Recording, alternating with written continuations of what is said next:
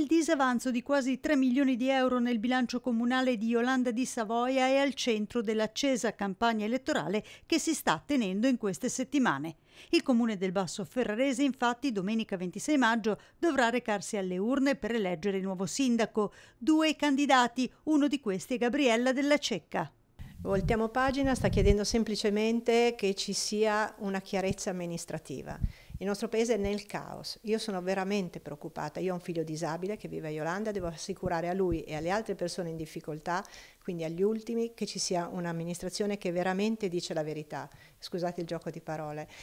Eh, noi stiamo vivendo una situazione in cui l'amministrazione uscente con Pezzolato e Trombin nega ai cittadini il diritto di avere accesso anche al Consiglio Comunale, perché arriviamo e troviamo le porte sbarrate. Per due volte non viene presentato il bilancio, quindi noi siamo senza bilancio preventivo, senza bilancio consuntivo, mentre tutti gli altri paesi hanno assolutamente già assolto questo loro obbligo.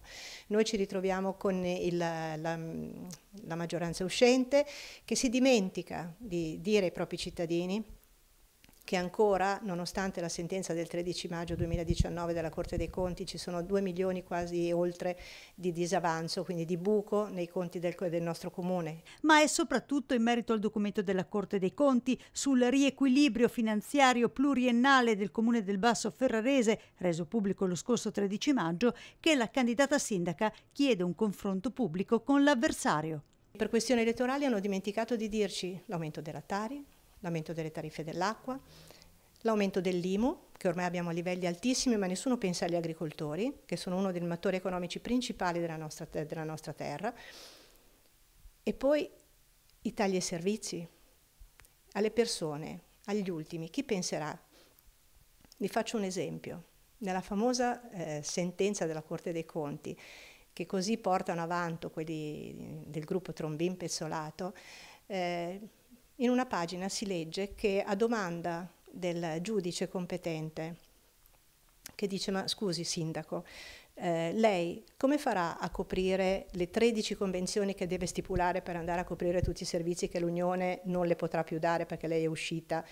Con quanto coprirà questa cifra? La risposta del sindaco è 45 mila euro.